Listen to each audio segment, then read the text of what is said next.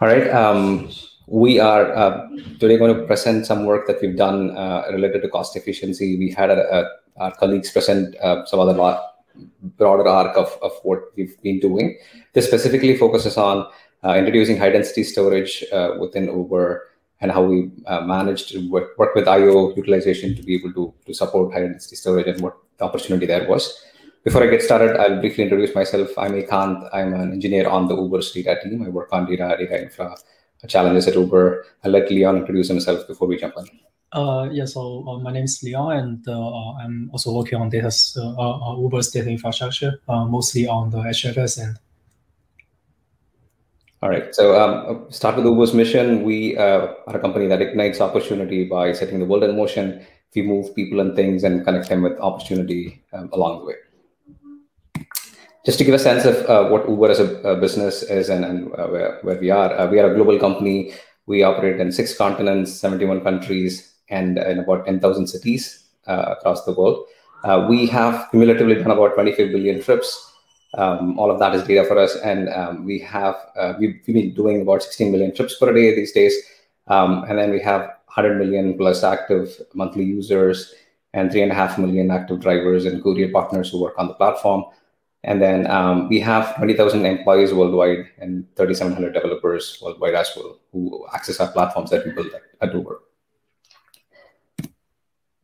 And for Uber, data is very key. It's it's the center of a lot of decisions that uh, are made. A lot of what you see, uh, the way you interact with the with the app, and how we operate as a company as well.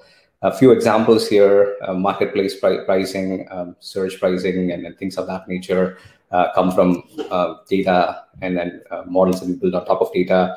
The recommendations that you see on the Eats delivery app come from the data that that we, we have. Uh, and then there are city and uh, regional operations teams that use data to sort of monitor how, how a city is, is running, supply, demand.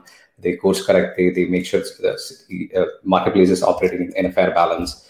Uh, the data powers compliance reporting that Uber uh, does in, in, a lot of markets. Uh, we use the data for both marketing and our, all of our ML engineers and, and data scientists, they use our data to, to be able to build models to, to figure out what are opportunities uh, that are ahead of us and so on and so forth. So data is the center of a, a big way of how Uber, Uber operates today. So before we jump into the specific problem and how we went about solving it, I'll just give a history of uh, what we've been doing uh, with respect to cost efficiency on HDFS, uh, touching a few things around tiering and, and whatnot. Hadoop at Uber, HDFS at Uber. Um, so here is sort of the scale at which we operate HDFS. We serve billions of requests on a daily basis for more than 10,000 data users. These are, um, like I said, city operators, for example, querying the data to, to data engineers building pipelines, um, machine learning, model building, data scientists doing analysis and whatnot.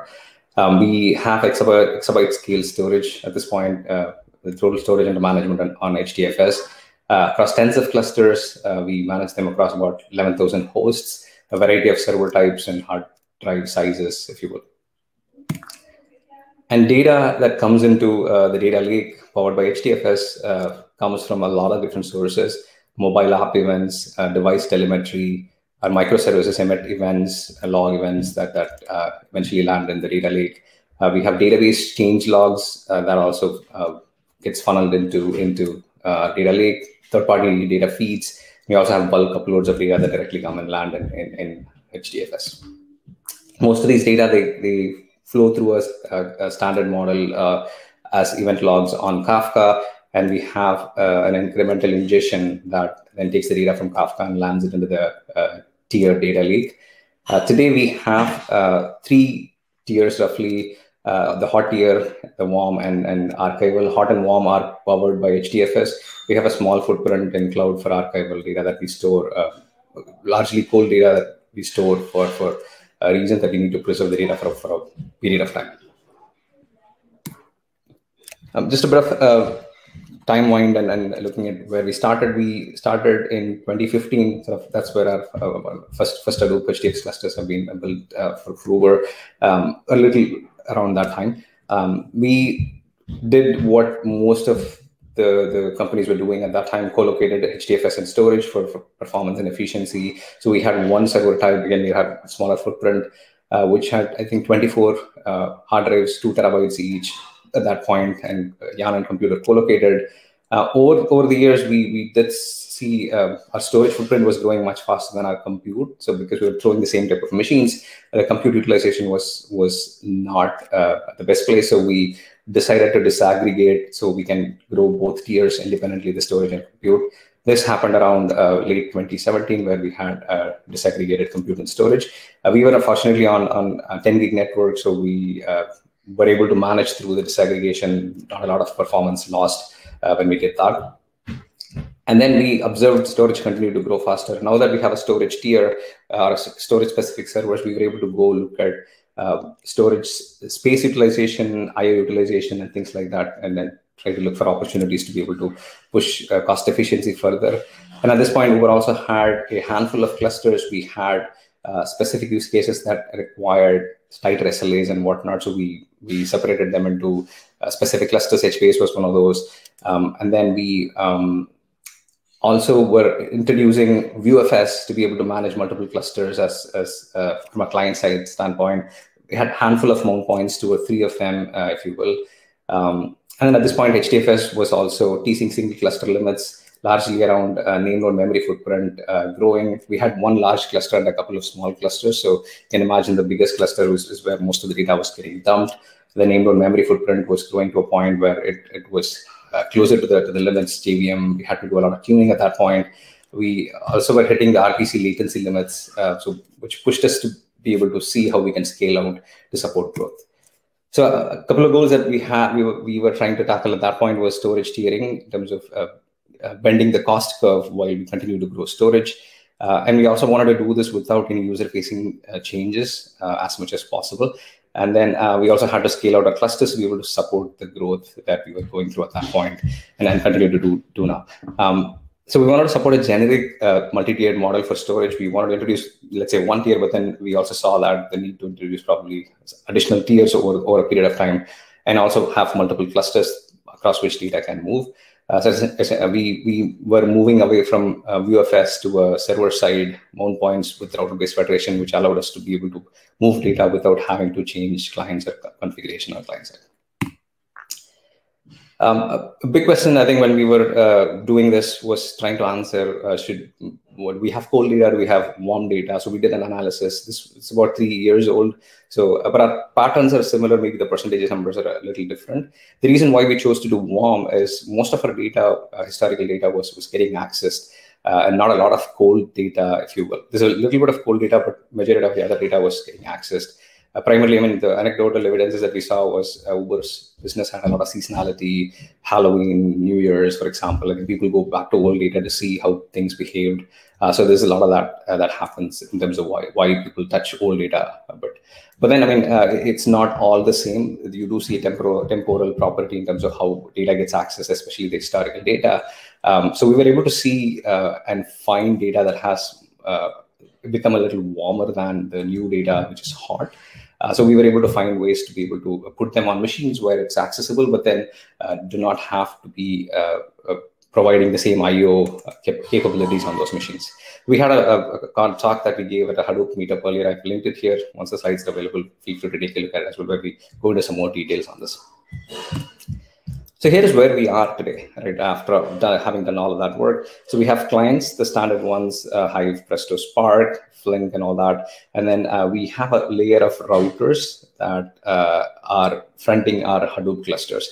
And these uh, use a Zookeeper-based state store at this point. They have mount points. We have about tens of thousands at this point of mount points uh, that, that then route traffic to different clusters, as you will. And then we have a, a few HDFS clusters beneath uh, the routers. And each of the HDFS cluster is, is uh, HA-enabled active standby. We also have an observer name node. Uh, an observer is essentially a, uh, a, name node that's optimized for read traffic. And, and um, they are eventually consistent. So if, if uh, we don't support read after write, uh, immediate read after writes uh, at this point, but then the community has capability to support that as well. We've not yet caught up to that. Uh, this is something that we co-develop, and that's an internal version that we're running at this point. Um, and then uh, you can see a bunch of hot clusters today. Uh, and yesterday's talk, our colleagues also presented. Uh, we are breaking our clusters into um, capability based or a specific use case based, if you will, ingestion, ETL, and things like that. So we have a bunch of hot clusters now, and we have a warm cluster um, that is using um, higher density hard drives today. So we use eight terabytes uh, at this point. Our hot clusters are a mix of two and four terabyte hard drives. And then we're also working on an erasure coded cluster for, for, for one tier on-prem. Uh, this is even cheaper than, than the warm cluster that we have today. And we also have a bit of a cloud archival presence, as I said, for the cold data that you saw earlier. It's a small uh, footprint, so we didn't decide, we decided not to build anything on-prem, just using uh, deep archive or, or, very cold tiers on the cloud. We also have uh, a data tiering and a rebalancer service that uh, sits outside and then observes what's going on to figure out candidates to move across these clusters. Um, and this this essentially monitors the uh, access behavior and then finds data that then is getting tagged with uh, the hot or warm. And then once the candidates are picked up, it gets moved into the warm tier to, to save cost. And as data moves, we use the router to be able to set mount points to make sure that um, it's not users is not do not have to have to do uh, do anything when the data moves. It's all transparent uh, for our users. Um, so what has happened over, over the years as we were uh, evolving is uh, now there's multiple tiers, but then there are also multiple server types with different sized hard drives. We see two, four, eight um, at this point. And we continue to monitor uh, the, the, the, utilization, IO utilization, storage uh, space utilization. We keep it at about 80% uh, typically, and we are also pushing that a bit, uh, given that we have a lot, lot more headroom with, with, the footprint that we have. Um, and, and when we look at the average utilization, we still see an opportunity to push it further. It continues to lay low, uh, given that we have grown over the last three years and, and the amount of old data that we have uh, continues to grow. Right? Um, however, if you just push the, the average by, let's say, adding higher density, what we also see is the, the tail latency start to tip. You see stragglers, you see uh, slow reads and, and jobs queries becoming um, slower. At least we, we see user-facing impact. So uh, while there is an opportunity here and we are actually pushing towards uh, going to a 16 terabyte hard drive now, uh, we needed to do the work to make sure that we balance the IO uh, across the, the different types of hard drives that we have in the cluster to ensure that the tail latencies don't tip too much, right? So the metric that we, we are trying to uh, optimize towards is the IO per terabyte uh, and then make sure that's even across uh, the different hard drives, different server types we have. And, and the other goal that we're trying to uh, get to is to not have different tiers based on temperature, rather um, have a unified uh, cluster where, where the temperature is managed within the cluster and then move data around depending on, on the, the use cases and things like that. That allows us to be able to provide better SLA guarantees and quality of service rather than the, the hot and warm, uh, which we are going towards at this point. But then the, the ex experience of going through this has given us the expertise to operate high density clusters and, and whatnot. I'll, I'll now open it up to, to, to Leon to take us through the details of what we're doing to specifically solve this, this problem. Uh, over to you, Leon. Yeah, thanks, uh, Ekant. Uh, so we have a briefly uh, uh, uh, talk about this a little bit uh, uh yesterday, uh, but today uh, I think we will go to more details and uh, uh, some other areas that we have improvements on. Uh, so first of all, the uh, uh, challenges comes in uh, when we are trying to um, uh, keep adopting the uh, better software, better and cheaper software uh, hardware in our HDFS cluster. So one thing we have observed in the last few years is that the for the HDD technology, the cheaper and the denser disks actually appear on the market every year. So back in 2017 uh, most of our hardware is like two or three terabytes, and uh, in 2018 we see like a four terabyte disk, and uh, 2019 we see a eight terabyte disk, and now we already have a, a 16 terabyte disk from our vendors. So and see the trend of HDD is that the, single disk capacity keeps uh, keeps increasing and increasing a lot. Um, however, in the meantime, uh, the the IOPS of a single disk didn't increase uh, that much. Um, so uh, from the last uh, past few years, it's almost just a, linear increase, um, and which means that the um, uh, the IOPS per terabyte on a single disk actually decreased. Um, so in order to actually uh, uh, put all those hardwares inside one cluster, then we need to uh, do something to make sure that the user doesn't hit a problem when they when they when their query get get into the 16 terabyte disk. Uh, and in the meantime, the uh, smaller disks, uh, they, the disk the IOPS is not be, being fully utilized. yeah, and um, uh, and also uh, for this uh, four type of hardware, so we have a we try to um, maximize our cost efficiency every year. So we try to adopt the cheaper hardware. Uh, every year. So which resulted in that uh, in our cluster that we have uh, multiple hardware types inside our cluster. And even today, we, we still have a lot of um, um, hosts from 2017 that have a, a, two or three terabyte per disk. Uh, next slide, please. So uh, as mentioned that uh, we have uh, so many uh, mixed hardwares inside the cluster. Um, but the, the current uh, HDFS storage tiering model only consider two types of storage for HDD. once you can um, one is like a normal disk, and the other is an archive, which hosts the cold blocks. Um, and um, and uh, uh, in our previous setup, like Ekant's mentioned, that uh, we uh, we try to speed the cluster, so we didn't actually uh, utilize the uh, um, the tiering feature from HDFS. So we actually copy the data from the hot cluster to the warm cluster once the data is aged. so we split, we, we just put the densities there. however, um, simply separate, separating in um, our hardwares into two types didn't uh, maximize our cost efficiency uh, because the uh, the warm data access is uh, uh, quite uh, is really low. That 8 terabyte, 16 terabyte is the IOPS is almost wasted. Um, uh, and uh, also in the future, we might have a, a different type of uh, more types of hardware inside of our, our cluster. So just simply dividing the all the hardware into two types is cannot um, maximize our um, cost efficiency. Um, right, next slide. So that's uh, how we come up with the, this uh, idea to actually uh, separating the one disk into two portions. Um, um, so we can uh, place a mix of the uh, um, temperature inside the one HDD. Uh, so for example, uh, you can see the picture here that uh, for 4 terabyte disk, we can just uh, put all the hot blocks there. But for 8 terabyte disk, we we we don't have to put only cold data there. We can we can put a, a mix of probably 3 terabyte hot and 5 terabyte cold. And for 16 terabyte disk, we can put uh, probably uh, two terabyte hot, and uh, uh, the rest of the disk is just uh, placing the uh, cold and warm data. So um, uh, so so uh, by this way, we can actually control the disk I/O uh, by placing um, the hot warm blocks on the same disk. And uh, um, initially, we were thinking maybe we can just do it on the OS level, do some disk partitioning.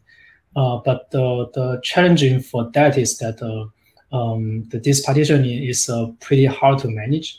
Um, uh, where we actually need to change the or this ratio based on the reality, or the, then we actually need to uh, reimage the entire host, and which result is that if we want to do some small change, then we need to probably um, do a, a, huge maintenance on the entire cluster and uh, reimage all these uh, all these hosts that we need to change the this layout. So so we think uh, maybe we can just do it from the uh, HDFS level, from the data node level, that we can probably just control it by simply changing a data node configuration. Um, uh, so so uh, we look at the current uh, uh, um, storage tiering feature from HDFS. I think so. We think that some simple change that if we can control the capacity of each storage directory, um, it will help us to achieve this goal. So here's an example that um, how this feature um, can be configured. Um, so, uh, so, so uh, for example, we have a, a, a disk mount, a disk A here, um, and uh, we want to separate it uh, to two storage types. And the first one, we can we, the admin can create a disk A slash DFS, so which which is for the like a hot blocks, and the the other one can be disk A slash DFS archive. Uh, so once you have these two directions, so HDFS uh, uh, doesn't really care about the, the mount for now. so you can just put the, the um, mm, the regular uh, disk uh, types in, in inside the um, uh, data directory configuration. and what we have added into the HDFS data node logic is that um, the we can actually Uh, specify the ratio of uh, uh, two two directions. So uh, the HDFS will actually uh, start to detect uh, whether these two directions are on the same disk mount if they are on the same disk mount. Um, and, and, so this uh, reserve for archive uh, percentage, this uh, configuration will be effective, and um, the capacity reported to a data node and all the way to name node will be de decided according to this one. Uh, so uh, just uh, so after we um, configure the directories, we can simply add one more tag to um, to show the ratios. Yeah. And also from the some feedbacks from the community that uh, um, uh, some some uh, some people said there maybe the uh, in some deployments uh, one data node can have multiple um, type of disks on the same host. So, for example, uh, maybe you can have a four terabyte disk and a 16 terabyte on the, on the same data node host but the configuration will be the same. So just one single configuration probably cannot satisfy uh, the requirement uh, for some of the deployments. So we also uh, have some support on the um, on specifying the disk and the directions um, to be more fine-grained configuration. Um, um, so apart from that, uh, the, the configuration we just talked about, you can also override the disk capacity of uh, different uh, directions. And uh, uh, also uh, not only for storage tiering, if you want to just use a part of your disk for HDFS and um, and this this one can be also useful. Uh, so uh, apart from the uh, separating out the um, directories and the specifying the capacity in the data node, another improvement we have done is that if you are once you configure the um, tiering on the same disk, when you're moving blocks from hot to warm, um, uh, um, the HDFS can also detect if the uh, two uh, if the uh, locality is uh, uh, it can we can use simply a move to achieve the better locality. So if the um, if there's a, um, a directory in the same mount that is that can satisfy the move requirement, um, the HDFS will just do a simple move instead of a copy. Um, so for example, here, uh, it, um, when we are moving a block from the hot portion from 8 terabyte disk um, to cold, uh, if there's a capacity in the cold portion, uh, we can just uh, uh, use a, we can just create a hard link uh, to the cold portion and then remove the initial hard link from the hot portion. then we can achieve the movement without any data copy. So this can can also save a lot of data on disk throughput. Um, because uh, either way, if we do it from the HDFS mover or we do it from a DCP, if we need to move to another disk, uh, not on the same mount, then we need to do a, a data copy and uh, uh remove the original one. Um, yeah, in our cluster, the data movement is actually very frequent. Uh, that we uh, keep that we continuously keeping the doing the TTL and the, the data tiering um, based on the time. So this can also help a lot on the speed and uh, save the uh, throughput. Uh, and here's uh, some uh, result that we see from our uh, we're adopting the 16 terabyte HDD. Um, so you can see here the the green line is the um, the the performance of the 16 terabyte HDD, and the yellow line is the uh, performance of the 4 terabyte HDD. So uh, the while the used capacity is almost 4x, uh, we observe the um, the read traffic of the 16 terabyte HDD is only about 1.5x. and in the meantime, the um, the new H, 16 terabyte HDD, the disk uh, IOPS is a little bit higher than the 4 terabyte HDD. So uh, Uh, for the disk utilization point of view, we see it's uh, almost uh, uh unified in our production cluster, and they they actually on the same cluster. so eventually, um, with this feature, we can achieve this kind of zero copy data tiering. so uh, so uh, so Ekant's just show that uh, our average DC utilization is um, is not that high across the cluster. So we can in the future we are thinking about adopting more and more high density disks inside our cluster. Um, so so eventually uh, we have a, a in our cluster we have a hot portion and a warm portion. So uh, when, whenever we are doing the, the storage tiering, uh, it, it will just uh, simply be a, a, um, a, hard link move, and there's no copy involved. And the in, and the new data will be right to the hot portion and uh, being moved to the warm portion, and eventually being uh, uh, moved to the cloud archive, and or, being deleted. And for the temperature service, um, it's also uh, very useful for us to decide that uh, uh, which data is uh, uh, not being used quite often and uh, which data can be can be tiered. So um, in our case, we have collected the data for HDFS LSR. So we have the all the directories, the information on the of the HDFS metadata. And uh, we also collect uh, audit log uh, and ingest them into a Hive table. So we do a join uh, for these uh, two uh, data sets, and we get the um, some information. For example, if we can see for a specific folder how many access in the last three months, we can get this kind of information. And based on this, we can um, decide uh, which uh, folder we want, which Hive partition, and which folder we want to move. Um, so we can put those information in a, a data store and let our movers to pick up from this data store and eventually do the movement on the HDFS cluster. Uh, and uh, during this, uh, um, so during our um, investigation on the um, on the balancing out the disk I/O and yeah, and also uh, um, improve our user experience on the uh, um, and make this uh, um, migration transparent to the users. We also we also want to share some of our other improvements and learnings throughout the um, process.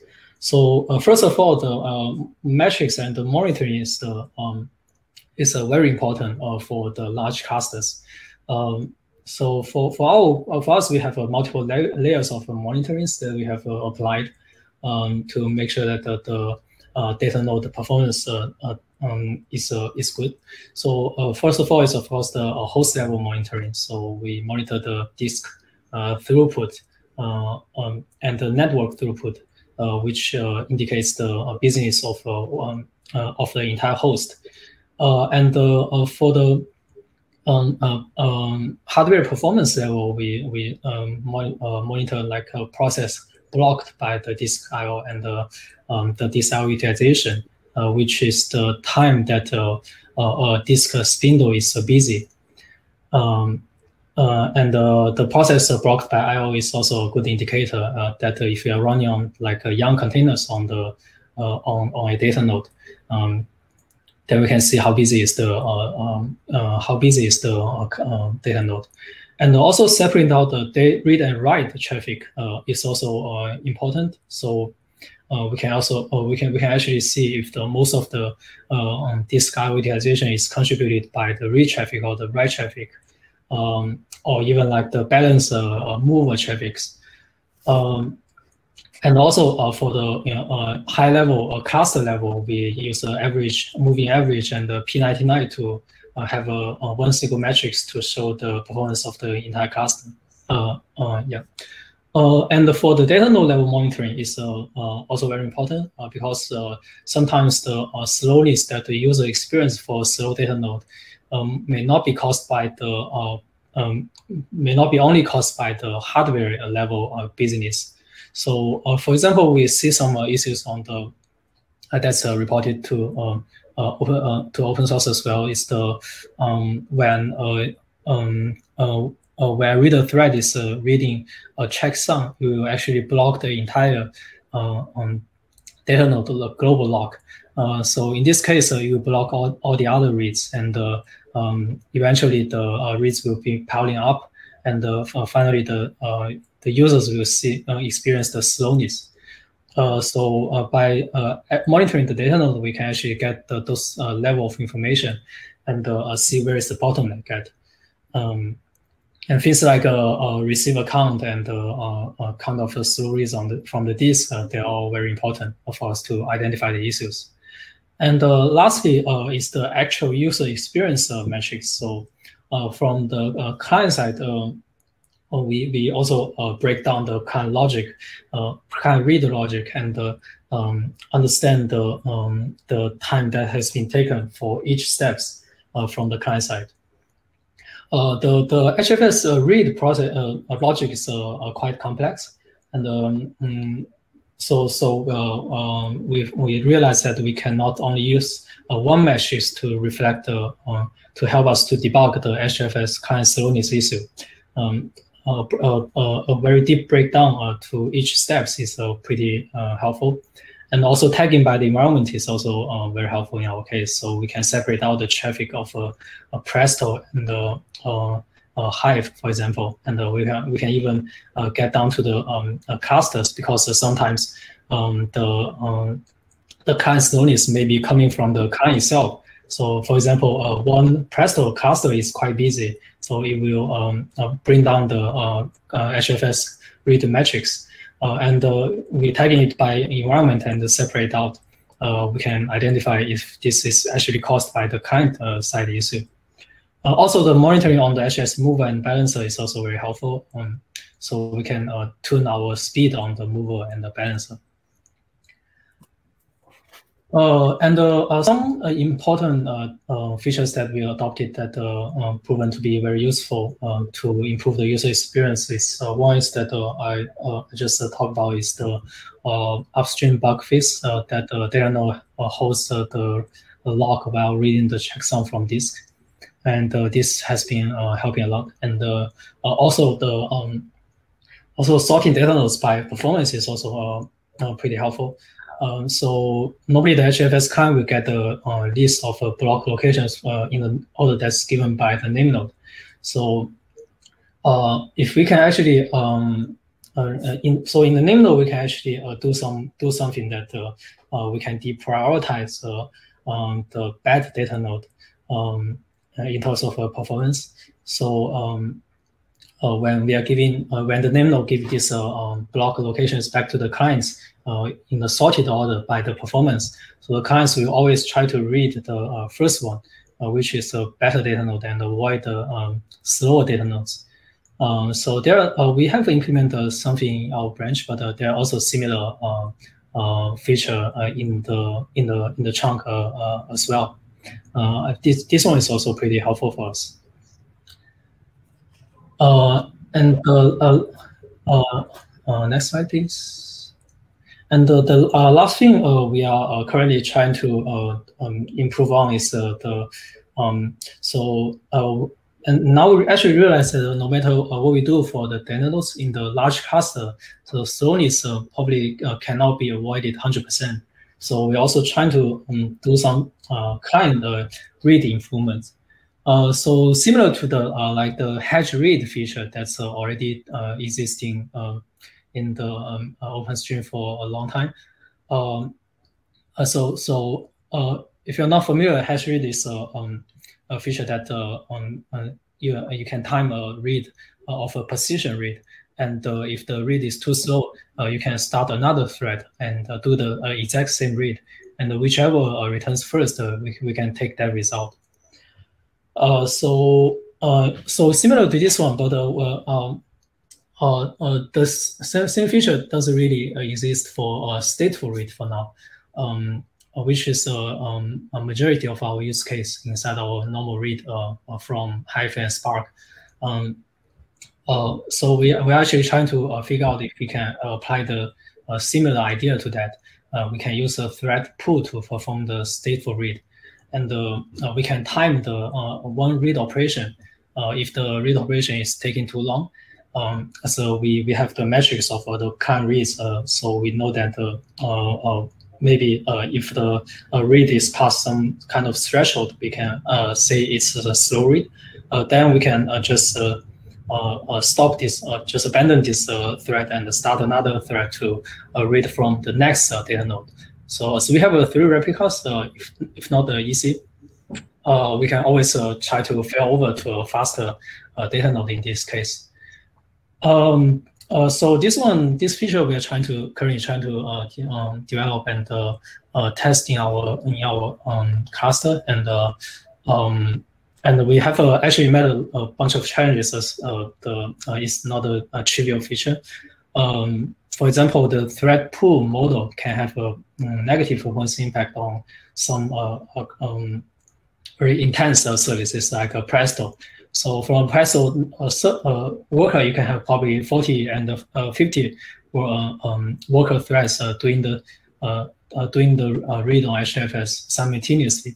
So um, which means that we can we probably need a, a thread pool size of, of a, hundred um, threads running in the same time.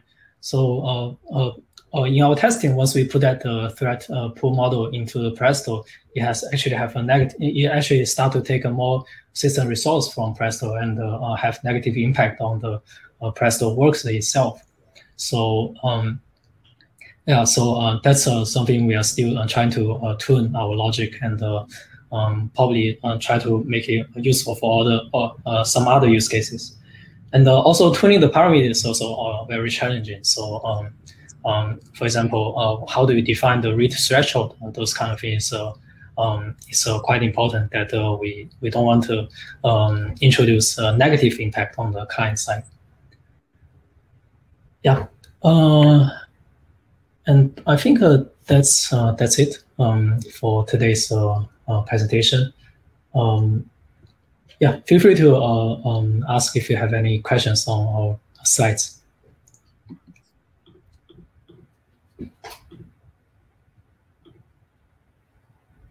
Hmm. Okay, I don't see a lot of questions there. Uh, oh.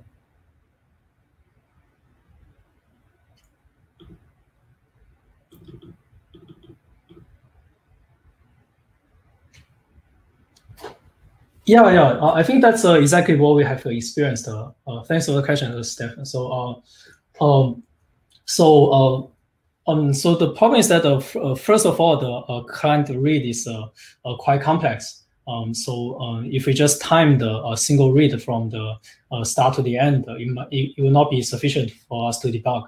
So we actually break down the um, break down the um, HDFS read logic into several steps. For example, so, initially you need to get the block location from name node, and you need to um, need to construct a block reader, and then you need to then you need to uh, then you start to read the packages. So each of these uh, steps can uh, cause the slowness. Uh, maybe there's some network issue on the client side that maybe you cannot start a, a block reader.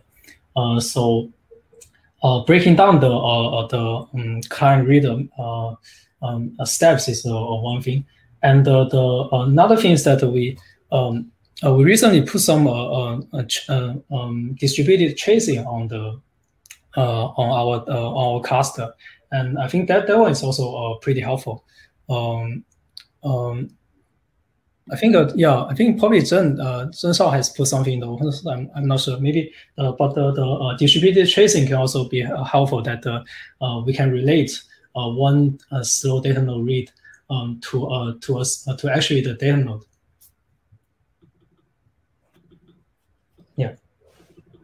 uh, do we enable HF routing at the same time?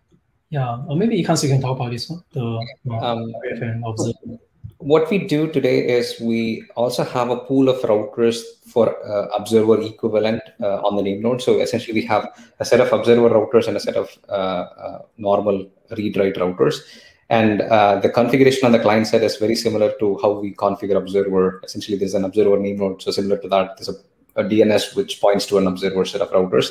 So that's how we isolate today. We initially were thinking of co-locating, but then uh, the, the quality of service or, or, separating out the, the read traffic and performance on that uh, was becoming challenging. So we took a simple approach where we have a pool of routers for for read write and a pool of routers for observer, and then that's how we isolated it. And then the observer routers know how to route to the observer name nodes below uh, in the, the clusters. Yeah, I guess the observer router feature is only in our branch. Uh, we probably yeah. didn't put it into our nodes. Uh, yeah, yeah. I think uh, uh, actually the uh, we, we don't we don't have uh we don't have that in the upstream, but uh, yeah, I think it would be good to uh, we can sh uh, share that. Uh, in, internally, uh, for uh, uh, for Uber, we have our own metrics library and assistant. So we have some customized stuff. But yeah, we, we can try to put some more uh, fine-grained metrics to adopt in the open source as well. Yeah. Uh, and uh, for distributed tracing, I think uh, um, um, probably I can ask our, our colleagues who actually did this. Uh, SSD or NVMe. Uh, yeah, that's uh, something we I think that's something we have uh, looked into. And initially, I think for some of the like super busy cluster, we have looked into using the SSD and the NVMe. But I think eventually, with still due to the cost efficiency, I think we probably don't need it. Uh, I think uh, as long as we can balance the this I/O across the cluster, then uh, we probably don't uh, don't actually need, need uh, to adopt SSD, which is uh, quite expensive. Um, yeah.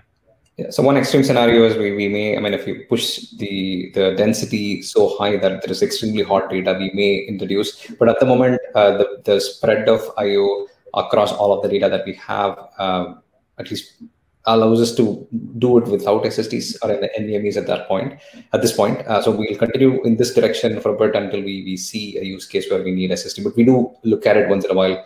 Uh, we do have SSD-based SKUs that are, in use within Uber for other use cases, traditional online databases. So we, we do benchmark once in a while to, to see if it makes sense. But at the moment, uh, we don't see it coming.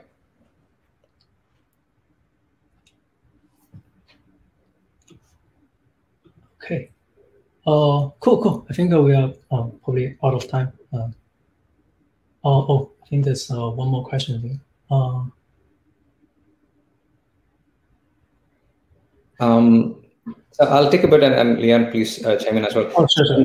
Question is around: Are uh, do you use any open source tools uh, uh, for HDFS in terms of monitoring and, and moving, copying data to disks? Um, I think from from a monitoring standpoint or uh, the temperature measurement standpoint, I think we use the the audit logs, uh, but then we, we do ingest it into into Hive table to be able to then uh, do analysis to figure out candidates. So that's a bit of uh, it's nothing too complicated, but at the same time, uh, it's it's it's a job that essentially that, that analyzes and joins the data to to pick candidates. It's a bit specific to to our use cases with exceptions and whatnot.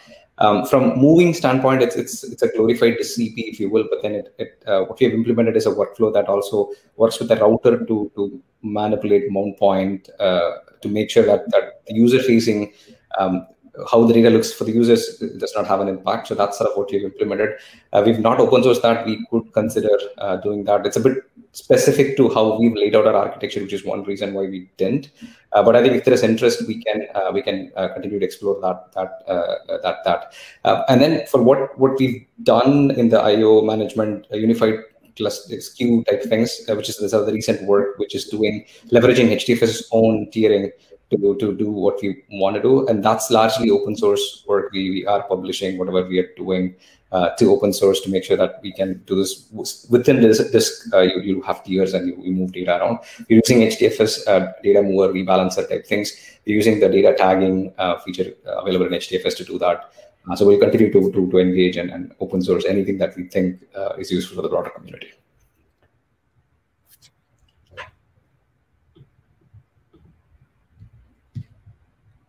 Cool, cool. Um, all right. Thanks, everyone. Um, please uh, feel free to reach out to us if there is interest in, in some of the work that we're doing. Uh, we can collaborate. We always look for collaborators to to to, to engage and participate with. Um, glad. Thanks for taking the time to. Thank you. Thank you, guys. Thanks. Bye. Bye bye.